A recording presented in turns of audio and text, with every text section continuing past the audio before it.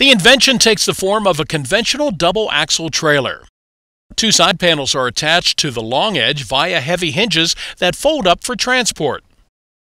In their folded state, the platforms form a triangular tube. As such, the interior of the triangle space is used to transport various items associated with the final use of the platform.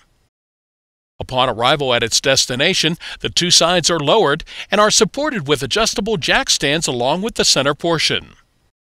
The jack stands are adjustable over a wide range to accommodate different ground conditions. The tent structure can be built on top of the platform and then tent fabric is attached. Items that require permanent connections, such as stoves, water connections, and drain connections, would be located in the center of the platform.